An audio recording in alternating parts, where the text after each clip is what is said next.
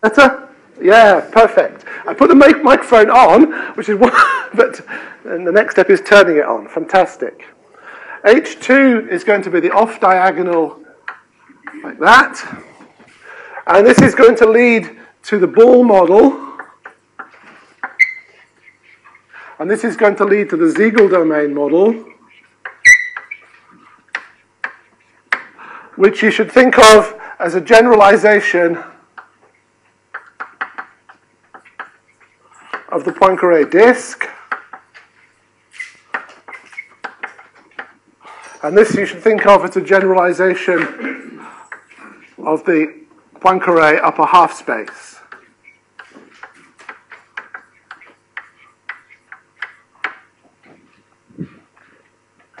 And we're going to see what this looks like in detail later on. And then if I have A in U of H, or PU of H, SU of H, PSU of H, etc., then this is going to be defined by it preserves the Hermitian form for all vectors z and w, and so we saw what th- that meant that we had H was A star H A, or equivalently, A inverse is H inverse A star H, where A star is the conjugate transpose or Hermitian transpose of, um, of, of A. Good.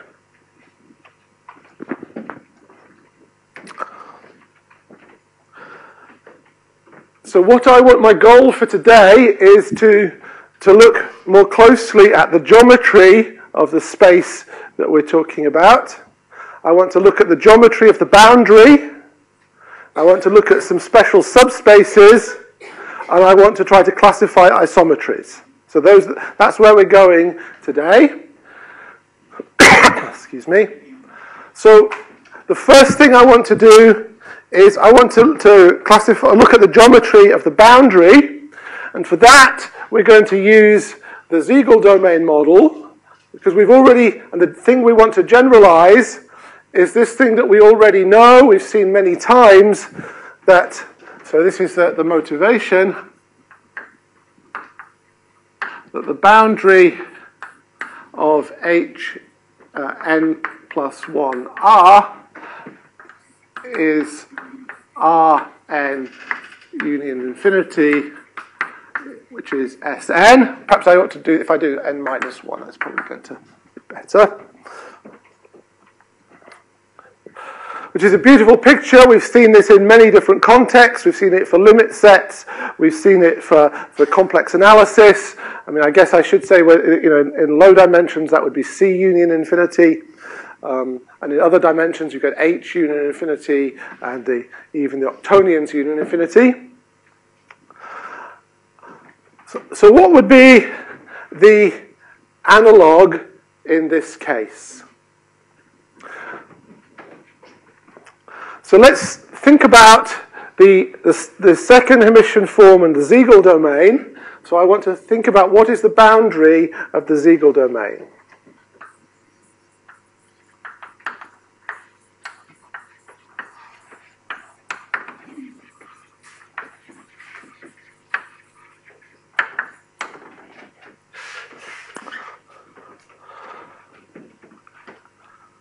So remember that we can always, for both of these two models, we can choose the chart in CP2 where Z3 is equal to 1. So we, we think of C2 as the chart of CP2 with Z3 equals 1. So a little bit like Pepe's picture. I, I, I I really get disturbed when Pepe draws this picture. Um, I've lost my colours. There's some colours on the front here. When he he draws that picture, because I always think of want to think of that picture, which is completely different. Because here's my Z3 equal, so that, that would be 1, and so here's Z1 and Z2, and so really that's a, a plane like that, right? So that picture that he's drawn several times for the, for the complex numbers and the, and the quaternions and so forth is exactly the same as the thing I was talking about where we're choosing Z3 to be equal 1. And in this case, if I have Z1, Z2 in C2, that standard lift, so that would be Z is equal to that, the standard lift would be Z1, Z2, 1 in, in uh, C2, 1. And if I take the Hermitian form of Z with itself, then I'm going to get twice the real part of Z1 plus mod Z2, Z2 squared equals, equals, uh, well, is equal to that, sorry.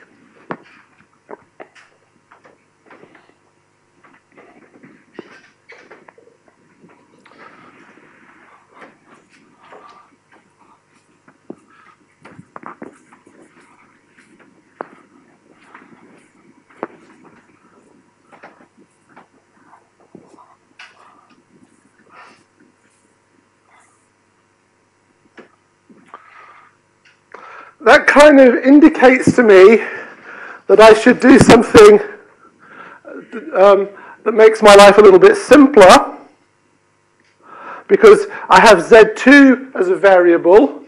Once I have Z2 as a variable, that's going to immediately determine if I'm in the boundary, this is going to be 0, so determines the real part of Z1. But then I've still got one free variable, which would be the imaginary part of Z1. And so I'm going to think about C cross R, uh, and my variables I'm going to be calling zeta and V. Now, that's how I draw my zetas. Uh, I had some grief from some people that they didn't think that looked like a zeta. So I asked one of my Greek friends, and he said, That looks like a zeta to me. So when in, well, when in Rome, do as the Greeks do. No, um, so that's, that's a zeta. And we've got this, I don't like making halves because certainly if you're in LaTeX, it kind of messes up everything. So let's make um, Z2 to be the square root of 2 times zeta. And so then if Z is in the boundary of the Siegel domain,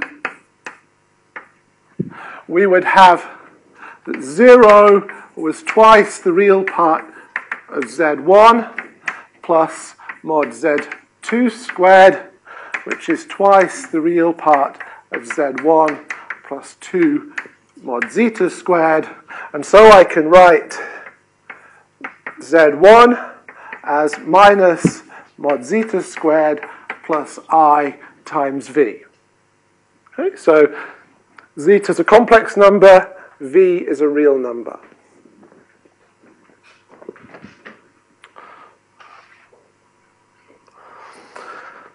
And so then, that works for all of the points that lie in this particular uh, chart of CP2.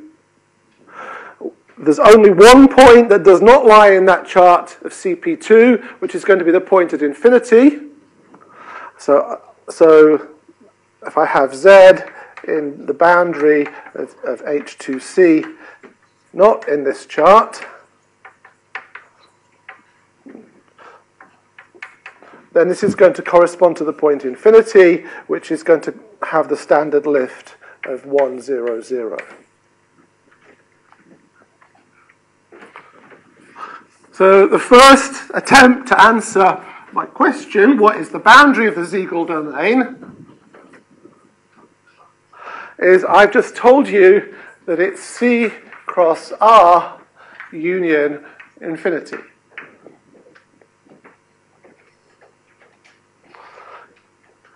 That's perfectly fine. I mean, if you really wanted to, you could think of that as, as R2 cross R, otherwise known as R3, union infinity. So in fact, topologically, this is just going to be a three sphere.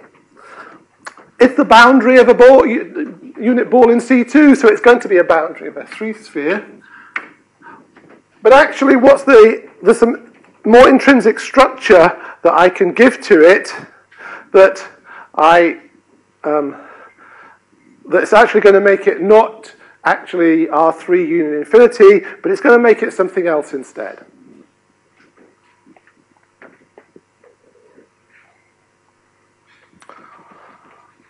So in order to see that structure, I need to look a little bit more closely at uh, what happens with the, um, the elements of, of PuH2. So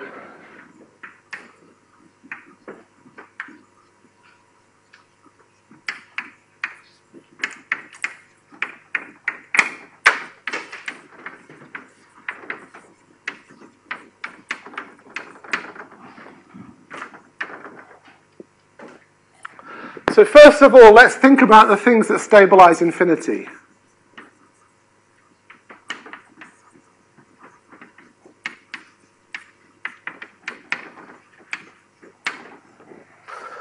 Now this is again, we want to have a little, little piece of thought. If I live in SL2C, PSL2C, or PSL2R, and I'm thinking of myself as a matrix A, B, C, D, or Möbius transformation AZ plus B over CZ plus D, then stabilizing infinity is exactly the same as C being equal to zero, so my matrix being upper triangular.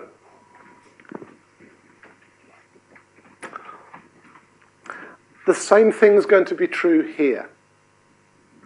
So let's, let's see. So I'm going to write my A in PuH2. Well, I'm gonna, it's going to correspond to a matrix because I'm always going to write my transformations as matrices um, because it's just cleaner than trying to do them as, as linear fractional transformations. So A, B, C, D, E, F. Now, if I was being purely alphabetical, I would want to put an I there Unfortunately, I have lots of copies of the square root of minus 1, so I usually put a j there. Now, that's fine until I work, start working with quaternions, and then I have problems. So. But for today, that's going to be my standard form for um, elements in here. And if I preserve this second Hermitian form, then I immediately, uh, we had this formula for the inverse, so A inverse, which was H inverse A star H, as a little exercise, which isn't so difficult, is that this is A bar, B bar, C bar, D bar, E bar, F bar, G bar, H bar, J bar. And if you look in the notes, there's all sorts of beautiful formulae relating these coefficients that you have. Um, the, the, I can't choose the, coefficients independently um, because the, the, group has a smaller dimension, but there's sort of all sorts of formulae relating it, but that's what we want to just think about for a moment.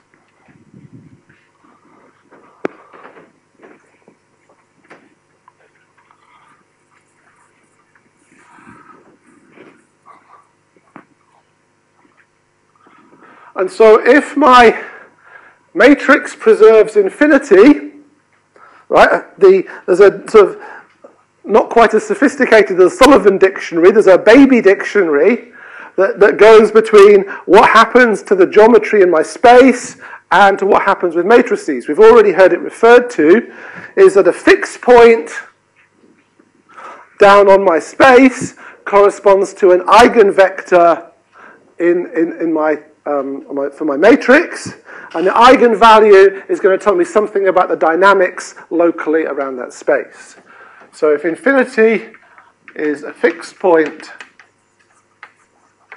of A acting on boundary of H2C, then 1, 0, 0 is an eigenvector of A. And it doesn't take too much um, effort to see what would happen if I multiply such a matrix by 1, 0, 0. I'm just going to get A, D, G. And for the inverse, I'm going to get J bar, H bar, G bar. And if this, that's my notion for projectively equal to 1, 0, 0, that's supposed to be projectively equal to 1, 0, 0, because it's an eigenvector, so there should be some eigenvalue sitting outside there. You can see that D, G, and H are all 0.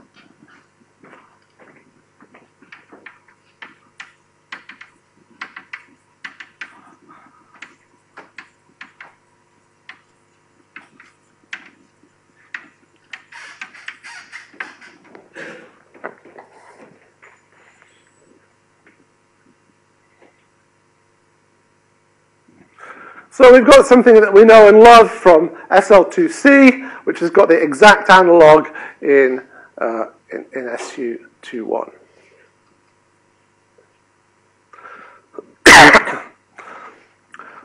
so what's the simplest sort of uh, upper triangular matrix that I could think of? It would be one where I have ones down the diagonal. So just suppose that A has 1 on the diagonal and is upper triangular.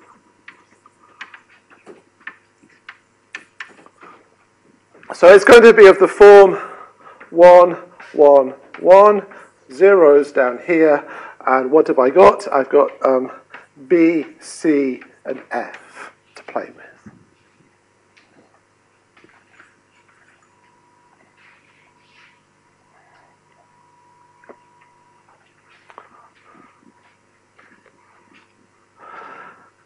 Now, what happens to, remember that we had, I had my um, C cross R, which was zeta V, and that I had that Z2 was root 2 zeta, and Z1 was minus mod zeta squared plus IV.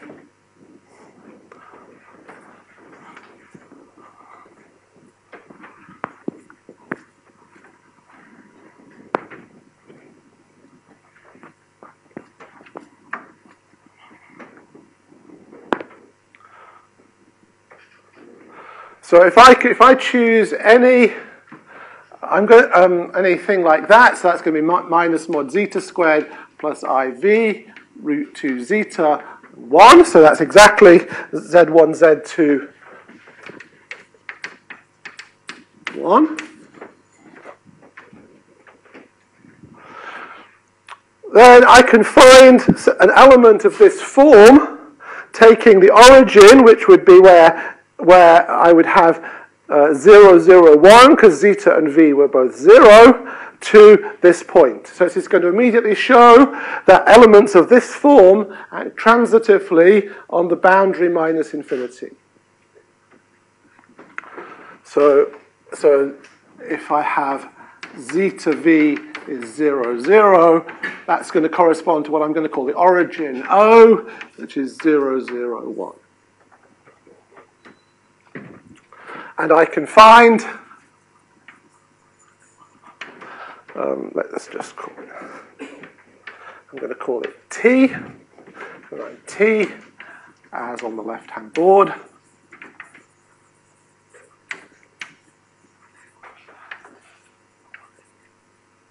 Sending 0, 0 to zeta v. So what's the shape of it going to be? Well, I'm going to have to have, I've got 1 there, so therefore I must have a root 2 zeta minus mod zeta squared plus iv. I don't know what that is, and I've got some zeros down below.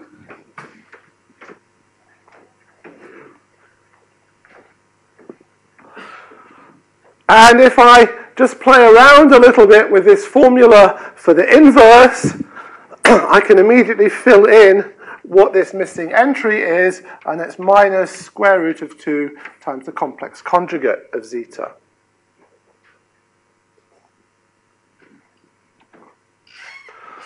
And so this is going to be rather like a translation in SL2C, but it's my analog for SU21.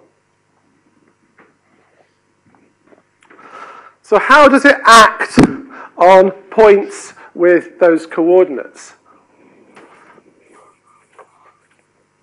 Okay, I need to have a different letter if I see how it acts. So because it's translation, I like to remind myself that it's translation because it's, so it's got letters that look like a T. So I'm going to have a, a big T, and I'm going to have tau and T for my parameters. And this is in C cross R, which is going to be 1 minus root 2 tau bar 1, 0, 0, 1, root 2 tau minus mod tau squared plus it. And how does it act on minus mod zeta squared plus iv root 2 zeta 1? Well, it's not so difficult to, to multiply this out. Last coordinate is going to be 1, that's great. Root 2 zeta plus tau. So things are looking good. That looks like a translation to me. But then things get start to get a little bit more interesting in this top, top entry. So I'm going to have minus mod zeta squared plus IV minus 2 times, uh, well, let's call it zeta tau bar minus mod tau squared plus IT.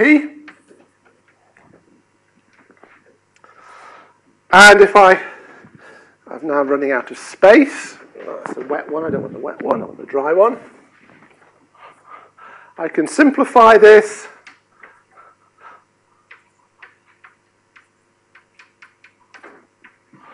Okay, look at the real part of this. Well, I see that that's nothing other than zeta plus tau squared. And then what do I get for the imaginary part? I have IV plus IT minus um, zeta tau bar plus tau zeta bar. And so what's happened is that, that I've got something where there's some, I have a nice translation here, I have a nice translation here, but then something gets twisted in this imaginary part. So in fact what happens is this is giving C cross R the structure of the Heisenberg group.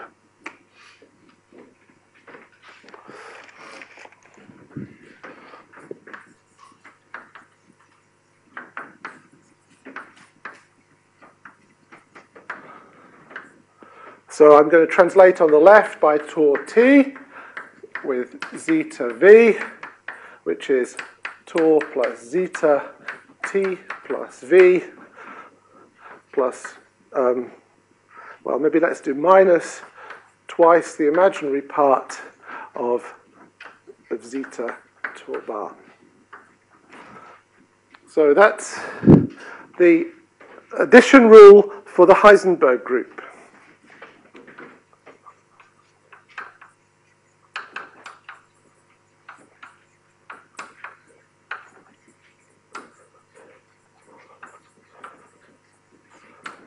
Now, there are too many topics. With, with an H, we've already seen quaternions and hyperbolic. So I always like to call a Heisenberg group N because it's a nilpotent group.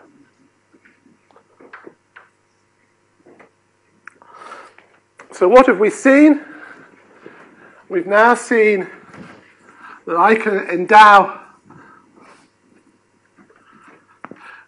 the the boundary of complex hyperbolic space, so the boundary of H2C, I can think of as the, as the one point compactification of the Heisenberg group.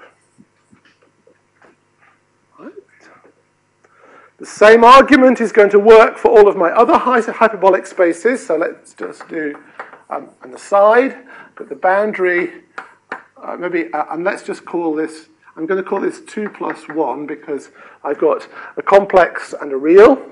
So the boundary of HNC no, 1 plus 1, sorry, is um, the boundary of H. No, I'm going to do 2 plus 1, sorry. That's good. Um, yeah. Um, the boundary of HNC is going to be the Heisenberg group with whatever it would have to be. Um, I'm getting myself confused here. Um, something plus 1, union infinity. Um, so it's going to be uh, it's supposed to have total dimension 2n minus 1, so it's 2n minus 1 plus 1. Good. The boundary of octonionic hyperbolic space is the Heisenberg group 4n minus 1 plus 3, union infinity. Here I have the Heisen, uh, n minus 1 copies of the quaternions, and then my, the, the other part is the imaginary quaternions, and the boundary of H2O is n8 plus 7 union infinity. So it's another Heisenberg group. But now I have the octonions and the imaginary octonions. So how does real hyperbolic space fit into this? Well, it would be the Heisenberg group where I would have the real part and then the imaginary part, but there isn't an imaginary part for the, for the real numbers, so it just becomes here, and we see in the first coordinate, I just act as I would do in Rn, and so really, it's a sort of a, a degenerate case of a Heisenberg group, otherwise known as the real Rn. Right, I, I want to draw some pictures. I always like drawing pictures because it, it helps us to see what's going on. so this is this room is inside the stabilizer of the coin. So the it's inside the stabilizer of a point. We've also got some other things. So it's like if I were to do um, the, the Riemann sphere, the stabilizer of infinity contains translations. It also contains other things like rotations and, and dilations. So, yeah, so this is like a translation subgroup. There's going to be dilations and rotations as well. So when I draw pictures, there is my copy of C with my parameter zeta. And here is my parameter R with V. The reason why V was chosen, this is actually a notation I think Bill Goldman chose. Uh, v stands for vertical. Yeah? It's an easy way to remember what's going on. So what happens if I do this translation? What happens to a point here? Well, it's going to get translated along um, in some, by some value tau.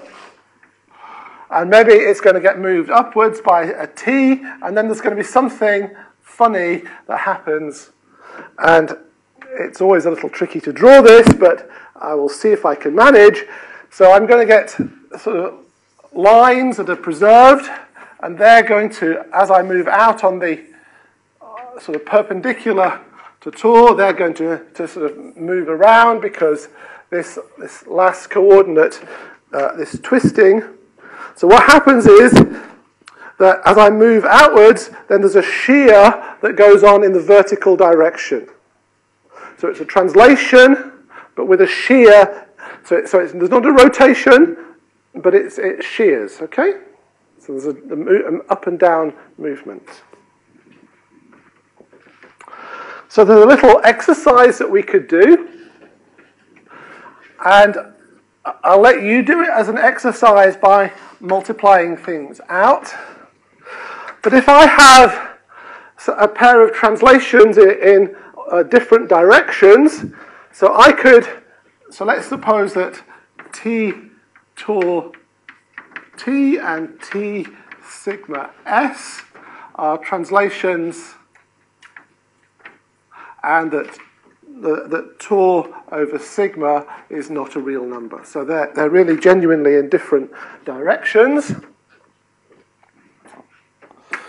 Then get another piece of chalk. Then if I were to do translate along, let's just start at the origin, why not? We, we translate along by tau tt, and then we're going to go somewhere by tau uh, sigma s. Now let's come back to tt inverse, and I come back. I'm going to end up above where I started from by, this is t sigma s inverse. Because if I just looked in the plane, then I'm going to just always come back to a square because I'm just, in the first coordinate, it's just straightforward translations, and I know that commutators there just take me back. But what happens is I'm going to end up above where I started from. And this height is going to be um, four times the Euclidean area, signed Euclidean area of the parallelogram spanned by tau and sigma in C.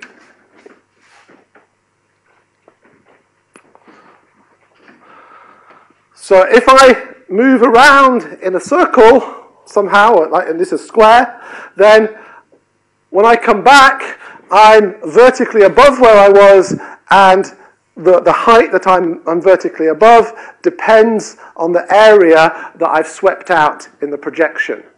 So if I were to go somehow the other way, I would end up below where I was, sort of signed area. Now, there's something you might notice about this. There's an intrinsic orientation on the Heisenberg group. It is oriented, and every, everything that preserves it must be orientable. Maybe there's a chirality if you want to use fancy words. Now, let's just think back a moment We talked about what the isometries of complex hyperbolic space are. And we said that they were elements of, U, of U21 or SU21 or PU21. Those are holomorphic. That's great. They preserve orientation always. And the other sort was complex conjugation or, or, or something coming from complex conjugation. Now, in two complex variables, or even an even number of complex variables, complex conjugation preserves orientation. So in fact, for complex hyperbolic 2 space, all isometries are orientation preserving. So we've had several talks where people have been carefully putting a little plus on their isometries and saying, well, we only want to think about the ones that preserve orientation. In this case, what I really want to say when I put my plus is holomorphic isometries. Because if I'm on the Poincare disk, being holomorphic and preserving orientation is the same thing, whereas for an isometry, whereas being anti-holomorphic and reversing orientation is the same thing. So there's a little trap, and I have seen papers in the literature where people have talked about orientation preserving isometries of complex hyperbolic 2 space. And if I'm refereeing such papers, then I always say no, it's not orientation preserving, it's holomorphic, because right? all isometries preserve orientation. That's a little trap, so hopefully that gives me less work to do when I'm refereeing future papers of people in the audience. See, these is all labour saving devices. Right, where was I? Yeah, good. So, so this is a picture of what's going on in the boundary. One of the things we often do in, when we're doing real hyperbolic geometry is we actually, and we've seen it when we, people have been talking about inversions, is we actually intrinsically use the Euclidean metric on Rn, or Rn minus 1, or whatever it is for the boundary, and we do things there, and then, and then when we're you know, dealing with things. So particular examples might be you would look at translation lengths of, a, of, a, of something fixing infinity, or if you were doing dilations, how does it expand distances? So what is the metric that we should be using here on the Heisenberg group that, that, that actually plays the role of the Euclidean metric? Well, there are, there are several choices. And those choices depend on your taste. I'm going to indicate to you uh, two of them. The, these two metrics are equivalent in the sense that distances in one are bounded, bounded above and below the distances of the other, so they're equivalent metrics. Um, so let, the first one which we might think about is called the Carnot metric, or sometimes the Carnot-Carathéodory metric.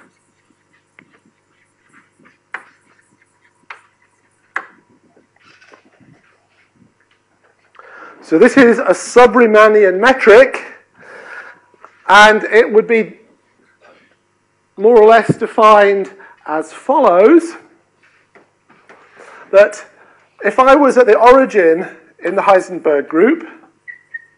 And what does the tangent space at the origin look like? Well, it looks like I've got C cross R.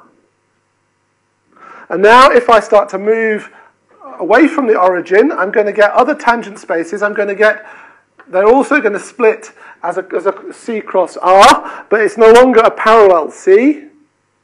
And, and, they're, and they're going to be, we've got these, these um, planes are going to get tilted. So if I move on a ray away from the origin, they're going to tilt by this shear. They're never going to rotate, but they're going to tilt. And they get further and further until if I went to infinity, they would be approaching the vertical plane. If I went in a different radial direction, they would start to tilt in that direction and eventually they would tilt up towards infinity. If I go the opposite way, they tilt in the opposite direction. And so at each, at each um, point here, uh, this is going to be called the contact plane.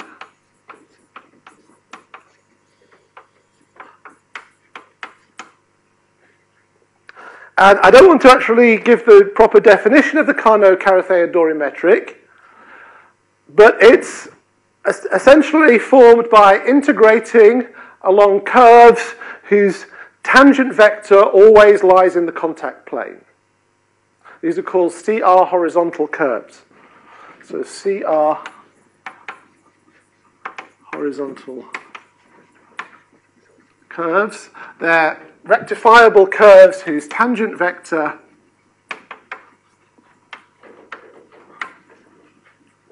always lies in the contact plane.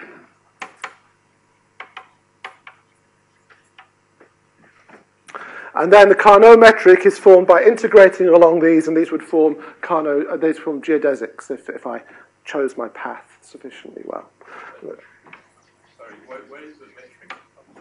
How do you measure? Uh, yeah, I, I, can't remember exactly what the formula is, but there's a there's a there's a formula, and it's, it's a, yeah.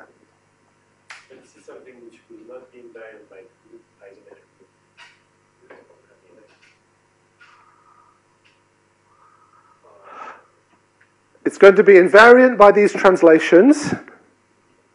It's going to be invariant by rotations. It's not going to be invariant by dilations. But that's what you would expect, because if you think of the Euclidean metric on the boundary of real hyperbolic space, it's invariant under translations and rotations, but not by dilations. And so the Carnot um, is formed by integrating, and I can't remember what you integrate by uh, along these horizontal, CR horizontal curves. This is not the metric that I usually use. So an example would be if I were to take a pair of points on this vertical axis, if you were being naive, you would say that its Carnot geodesic should be going straight upwards. That looks like the shortest distance. However, I can't do that because I'm certainly, I'm now not in my, uh, at least at the very beginning, I'm not in the, the, the contact plane there.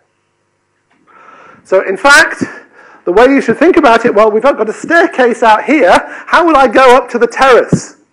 Well, the shortest distance will be go straight up. But I can't manage that. I have to go round on that staircase. And so that's exactly what we would do. We would take a path that lay on a cylinder, it's a spiral path, and the area of that circle is exactly going to be four times, so the, the distance up here is four times the area of that circle. So that tells me which circle I should be on exactly. So if I'm looking from above, then I would just see this, this point would be the whole axis, and I would just see a, a, a circle there. Yeah? You mentioned that it's, it's varied on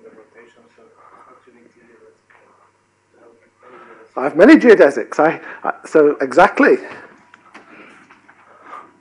I have another geodesic there, and so forth. So it's not uniquely geodesic.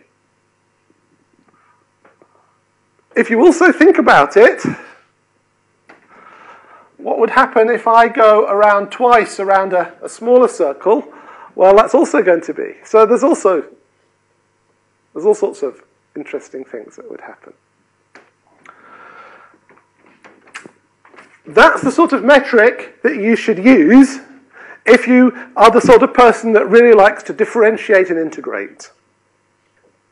When I moved to Durham, which was like 21 years ago or 22, well, 21 years ago, the, the, the group that I was becoming part of was called the Differential Geometry Group. So I said, well, I'm, I'm do geometry, but I don't like to differentiate. And so I made a, a, a, campaign, and eventually now we're called the Geometry Group, because they realize that there's more sorts of geometry than people who like to differentiate. I'm a geometer who doesn't like to differentiate.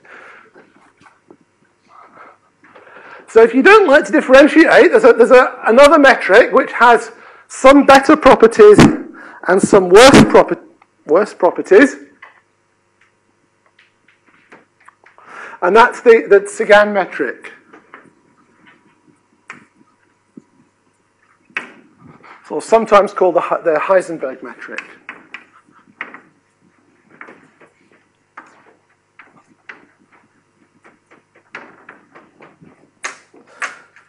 And from my point of view, this is a better adapted metric to the th- sorts of things that I want to do. So we have n, which is the collection of, of to v in C cross R. And so I first of all want to define a norm on, on, uh, on the Heisenberg group. And then the metric is going to be the, the, the, the naturally induced metric uh, associated to that. And so I'm going to have the norm of the Cygan metric. Well, okay.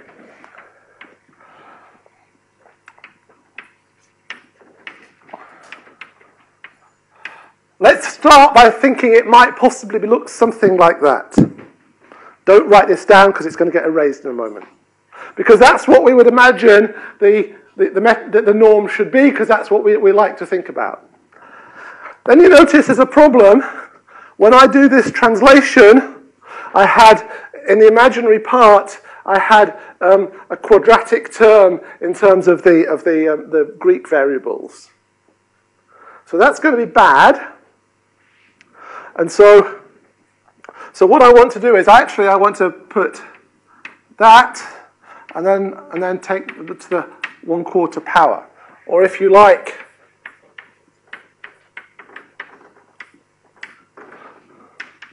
so that's like them taking the norm of the, of the first, first coordinate.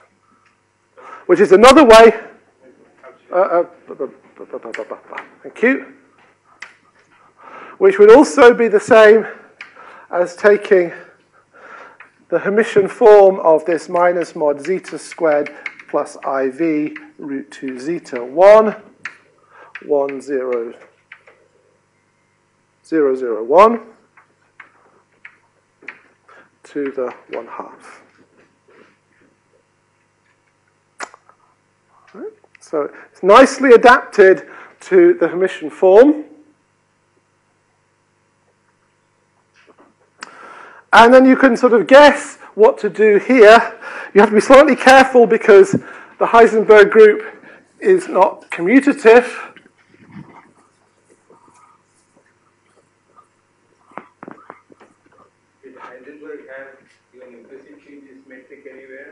So the reason it's called the Heisenberg metric, so I'm told, is if you look at the associated Lie algebra, that was that's connected to some of the things that Heisenberg did when he was doing quantum mechanics. This metric, This metric, no, this metric, um, this, this was, um, def- well, um, there's a whole family of things you can do with different powers there, and, and Korányi was, was studying those. And this particular one was, was proved to be a metric um, that I'm going to tell you about in a moment by, by. So Cygan was a Polish mathematician, and this is sometime in the 70s that this was proved to be a metric. I don't know of any earlier references than that.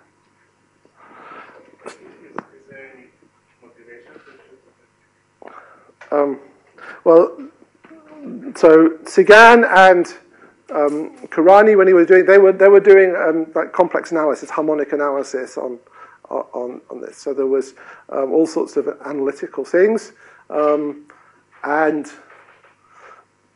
well, my motivation for using it is it's well adapted to my Hermitian form, so I can calculate it easy easily. It, it has and many of the properties that I, I'm interested in to generalize, I, you know, my, my way of thinking is I take SL2C and things that I know there, and I say I want to generalize this to, um, to the complex, the higher complex dimensions, and I want, I want something that actually uh, generalizes nicely. And, and this metric it has some bad properties, but it generalizes nicely. And I'm going way, way, way too, too slowly. Never mind. Perhaps, never mind. We'll do classification of isometries tomorrow. Right, so if I have, so that the Cygan distance between zeta 1, v1, zeta 2, v2 is going to be the Cygan norm of zeta 1, v1 inverse composed with zeta 2, v2 sig. Right? I have to take my inverse on my. So inverse just would mean that would be the same as minus zeta 1 minus v1. You can check that that's the inverse, that's a little exercise for you. But I want this to be left invariant by translations, and so if I put in a translation here, acting on the left, then, it, then I want to have the inverse here, and so that, that this would be invariant. If I chose this inverse on the other side, it would no longer be invariant under those translations. Good. Fantastic.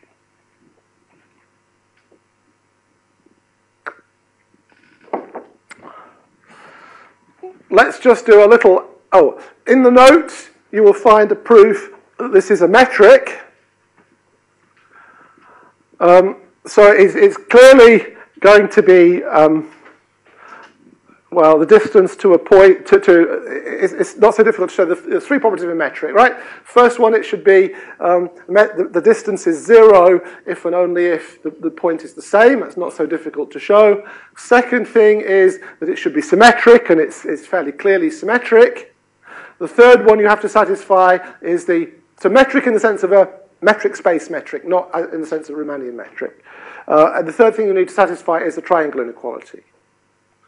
And when you're satisfied, trying to prove the triangle inequality, you'll discover that something very interesting happens. It? Um, no, no, no, no. It, it's not a path metric. That's what I'm about to tell you, yeah? It's not a path metric. Right? And so I can take a pair of points here, zeta 1, v1, zeta 2, v2, and let's just suppose that I could find a path between them whose length is this metric, is this distance. Then, if I chose any point on the path, then the distance from this point to that point plus the distance from this point to that point should be the distance of the whole path. So in other words, for any pair of points, I must be able to find a path where, the, where I get equality in the triangle inequality. But it's not so difficult to exhibit pairs of points where for every other point I get strict inequality in the triangle inequality. So this does not happen. So it's not a path metric or geodesic metric. So that's a bit bad. But you have to sort of live with, with some bad things and some good things, and that's the one I choose to live, that's the bad thing that I choose to live with. So quite often I'm trying to build fundamental polyhedra, maybe using things like this, some, some, some, spheres, and you, you know, you would want to say, well, two spheres are disjoint if the distance between their center is, is, is, is bigger than the sum of the radii. Well, if the, if the distance between the centers is bigger than the sum of the radii, then that's going to be fine because of the triangle inequality, but it's not going to be, go, the, go the other way around. So there's all sorts of issues that, that, that come in there. Right. I'm, I've been going a little too slowly, but um, what I want to do is I want to talk about, I'll switch gears slightly, talk about some totally geodesic subspaces of complex hyperbolic space. And I'm going to try to draw some pictures of what happens in the boundary so that you get a bit of a feeling for them, um, which is why I wanted to draw these pictures and we'll, we'll then kind of gently come to a close.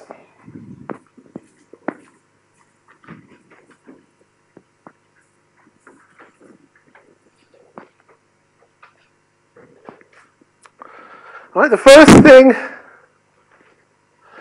we need to say is one of the biggest nuisances or challenges or things that makes it very, very interesting depending on your point of view, whether you're a glass half empty or glass half full person, is there are no totally geodesic real hypersurfaces in complex hyperbolic space.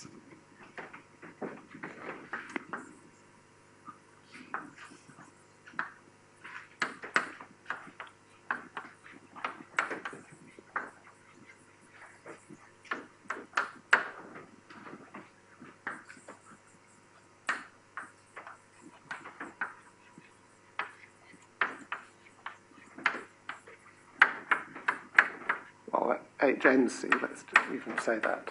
This is for n bigger than or equal to 2. Obviously, that's false n equals 1.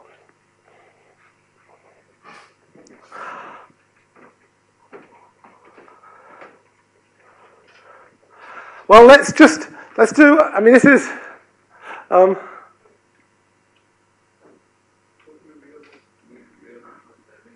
to, to, No totally geodesic, so this would be, you know, 2n minus 1 dimen real dimensional.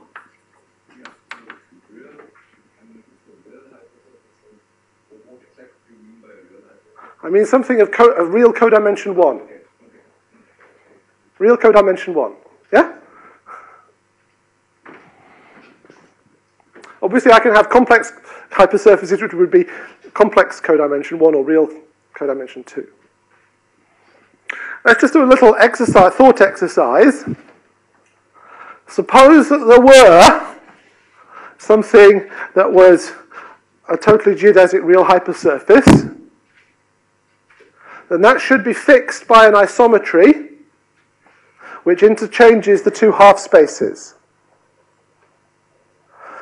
That would naturally be orientation reversing, And so that's a very soft proof that that couldn't happen in, complex, in even complex dimension.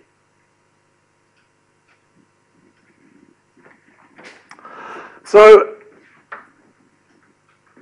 I'll now tell you what the totally geodesic real hypersurfaces are. Oh, so the totally geodesic subspaces are the the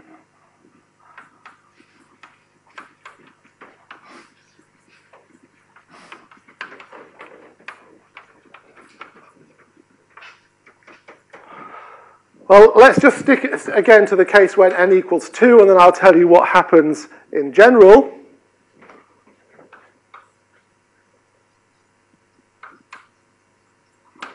Complex line, which is,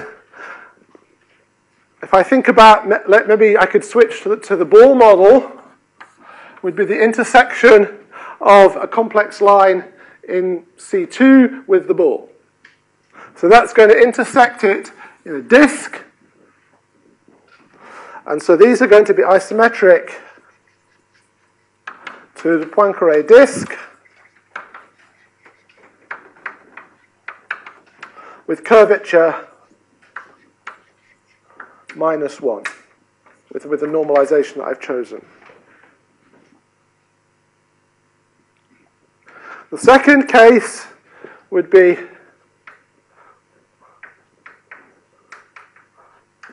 uh, totally real or Lagrangian subspaces, e.g. R2, R2 sitting inside C2. And these are going to be isometric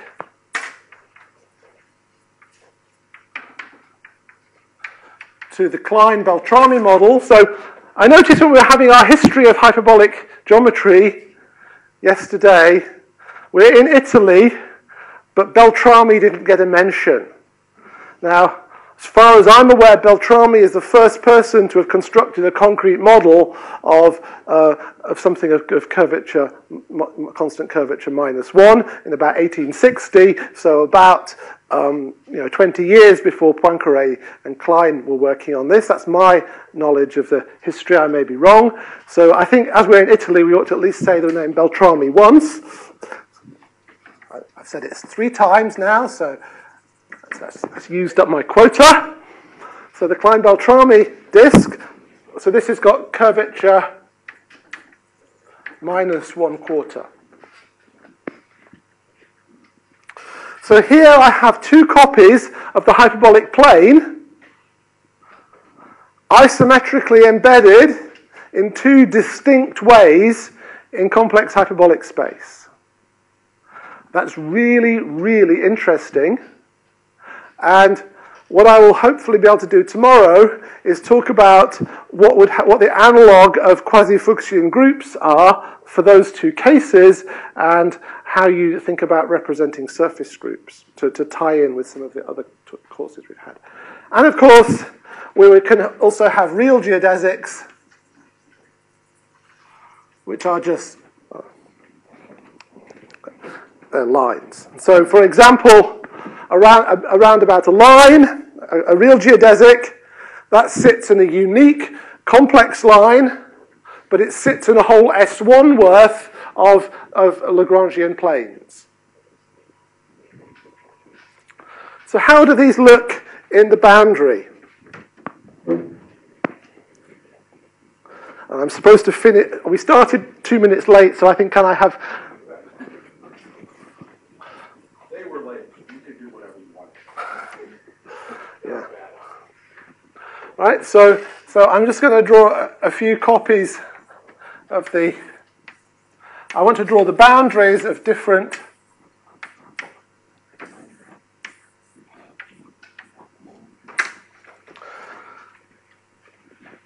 So, first of all, what is the boundary? So this, this is the boundary of complex hyperbolic space.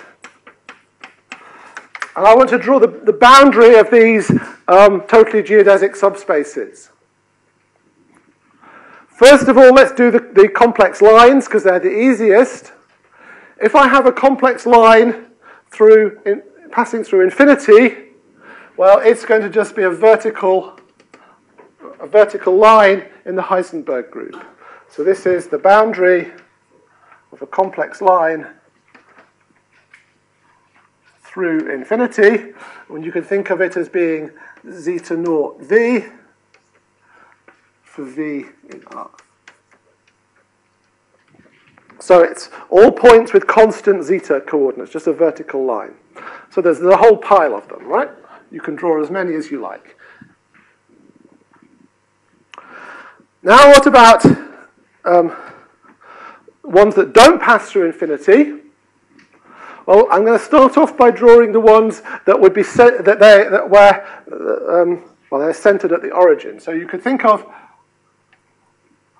of a whole bunch of circles that sit in this zeta naught plane. But what I could do is I can move this around so I've got a, a contact plane somewhere else. So they're going to be they're going to live inside the contact plane at, the, at that point. And they're going to be, well, they're not quite circles centered at that point. They're going to be ellipses, but which live on a circle, circular cylinder. So they're going to be, so these are the boundary of a complex line, not through infinity. They're going to be ellipses in the contact plane at the center, which lie, which, which lie on a circular cylinder. So there's, right? So if I were to take a circular cylinder it's not, not a very circular, circular cylinder. It's not very cylindrical. And I would imagine cutting it with an oblique plane. I'm going to get an ellipse. And it's exactly those ellipses, providing that, the, that the center of, the, of this, of this uh, water bottle it passes through the, the, the, the, point about which the contact plane is. And so when I'm at the origin, my, my contact plane is, is horizontal, I'm going to get genuine circles, but the further out away from the origin I get, the steeper it gets, and so a lot, these ellipses are going to get very, very long and thin.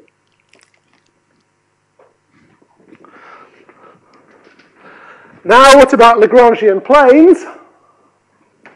Lagrangian planes, well, through the origin, they're going to be lines that lie in the contact plane. So these are going to be the boundaries of the Lagrangian plane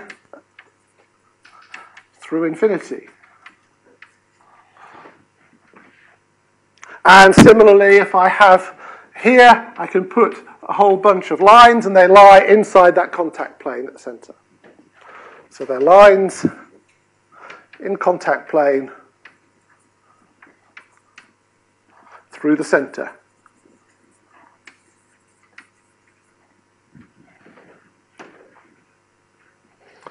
So you can, with a little bit of thought, you can realize that any line that, am I right? No, well, I won't say that because I think I'm wrong.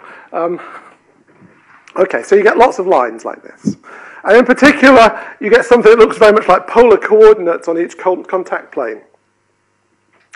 Now, the complicated one, which I've left till last, is the boundaries of Lagrangian planes that, um, that don't pass through infinity. Well, these are space curves, which we sort of draw like this. They're sort of topologically a circle. And if I look down from infinity, what do I see? I'm going to see a lemniscate of Bernoulli. So it's a, it's a curve like that an, which crosses at right angles. So these are, this is the boundary of a Lagrangian plane, not through infinity. And the, the vertical projection, which I haven't defined, but it's the obvious thing you just project onto the zeta coordinate, is a lemniscate if you want, technically it's a lemniscate of Bernoulli, a particular sort of lemniscate. And That's quite good because that encloses zero area, because it has a plus area here and a minus area there. And so that's one of the things you would expect for something that was Lagrangian. Um, it should actually enclose zero area. Okay? And so you can start to build all sorts of, of, of you know, have all sorts of fun playing with these as building blocks. And I guess that's what I, I ought to stop. So tomorrow I'm going to I'm going to do what I was supposed to have done the last half of today. I'm going to classify isometries. I'm also going to try to talk about representations of surface groups um, and talk about something called the Toledo invariant, which is the exact analog of the volumes of representations that we saw yesterday.